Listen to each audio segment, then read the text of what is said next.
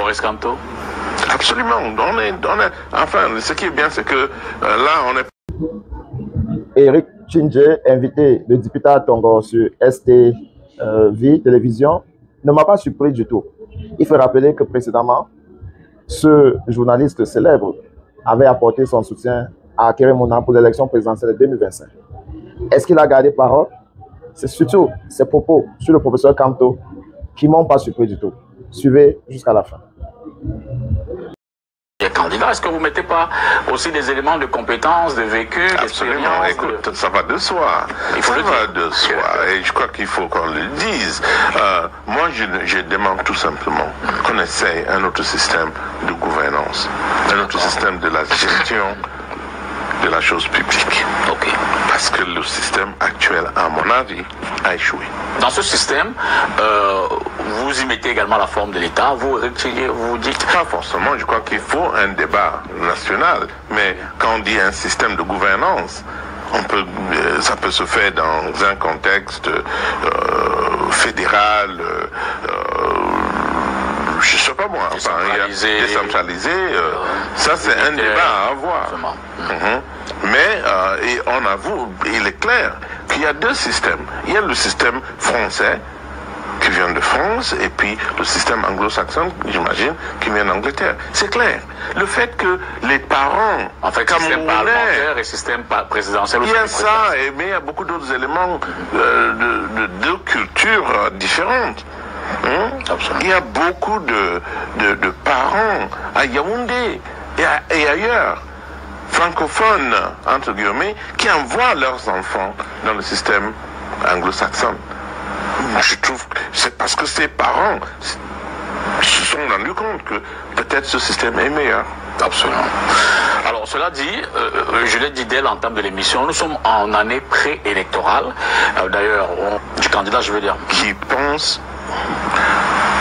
ah, je suis obligé de le dire malgré moi, mais il y a des gens qui, il y a des gens qui passent, qui ont passé le temps à réfléchir sur le sort de ce pays. Et ces gens-là ont constaté, par exemple, que le Cameroun ne constitue pas encore une nation l'État du Cameroun ne constitue pas encore une nation. Premier défi du prochain leader de ce pays, c'est de faire de ce beau pays une nation. Quels sont les éléments qui vous indiquent qu'il n'y a pas de nation camerounaise? Quand je te regarde, je vois un doigt là, je ne vois pas un, un Camerounais. Quand tu me regardes, je suis convaincu, tu vois un anglophone qui est en train de te parler. C'est ça.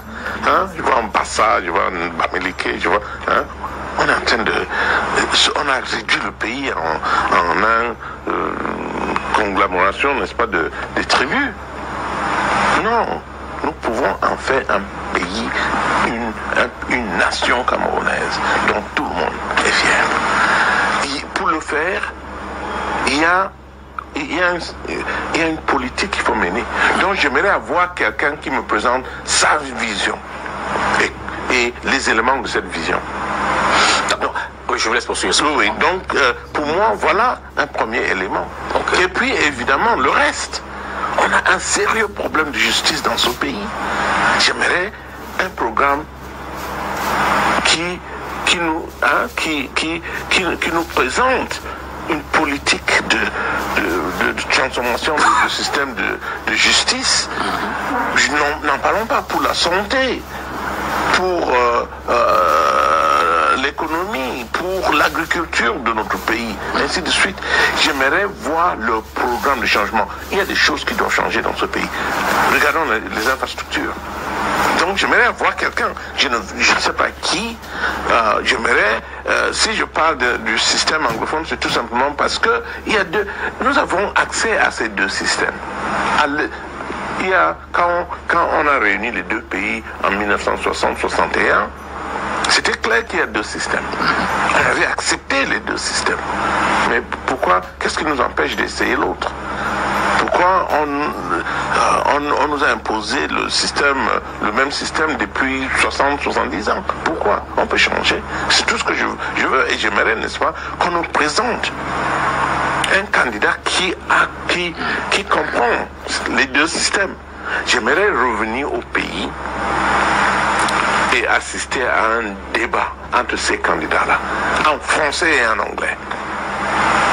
Nous parler de leur vision de l'avenir du Cameroun et une vision qui tienne compte de tous ces éléments. D'accord. Essayons de faire un petit jeu. Justement, parlant des candidats, je vais citer certains, ou du moins des acteurs politiques de premier, de premier rôle. Je vais citer certains et vous me direz qui c'est peut-être s'ils répondent aux caractéristiques, au profil, au, euh, je commence que c'est peut-être euh, par Joshua aussi, du.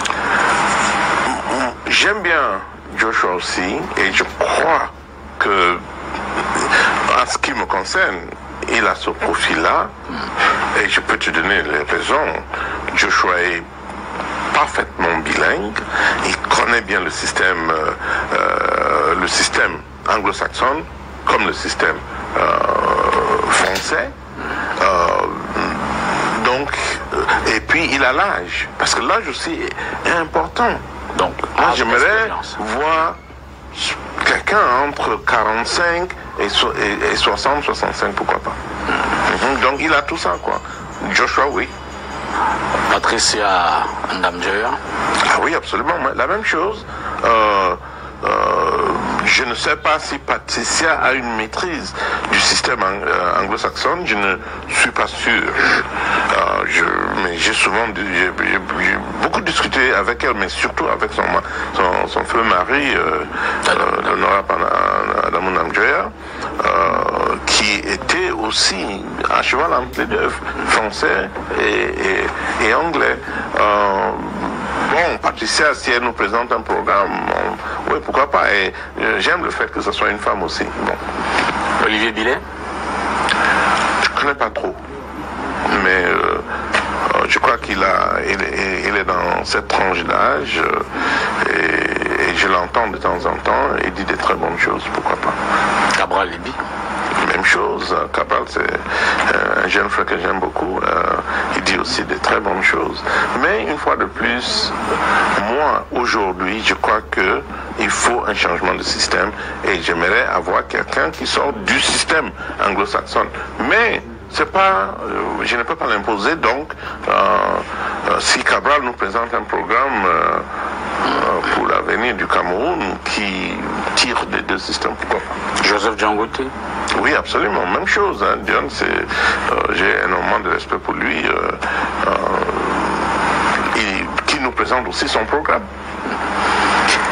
Maurice Canto Absolument. On est, enfin, ce qui est bien, c'est que euh, là, on est parti de Joshua aussi, et Cabral et les autres là. Euh, on ne pas parlé de Kawala et, et Patricia. Euh, on, on, parlera de uh Mais pour tomber donc à ces personnes de ma génération. Mm. Donc Kanto, euh, John Gouté, ainsi de suite. Oui, vous pouvez encore nous donner un peu de chance. Euh, mais je crois qu'il est temps de d'insister sur euh, les gens de ta génération. Christophe Fomogno Non, Chris, Chris c'est un frère, ah. mais il est d'ailleurs il habite pas loin de chez moi à Washington. mais je ne crois pas que il va fait qu'il ne, connaît pratiquement plus le pays, il vient ici assez souvent. c'est quelqu'un de très très bien, très respecté sur le plan international, mais bon. Kawala euh, Absolument, c'est une jeune battante, ce que j'aime aussi. Euh, euh, et puis c'est une femme aussi. si elle peut nous aussi présenter et défendre un programme, pourquoi pas Alors, au sein de l'opposition camerounaise en ce moment, il y a comme une forme de débat qui suscite euh, des mésententes ou des dissonances entre les, différents acteurs politiques, euh, notamment autour de ce qu'on appelle euh, la coalition des partis de l'opposition pour présenter un candidat unique à, cette élection présidentielle. En ce moment, il y a peut-être deux ou trois grandes coalitions qui sont constituées, APC,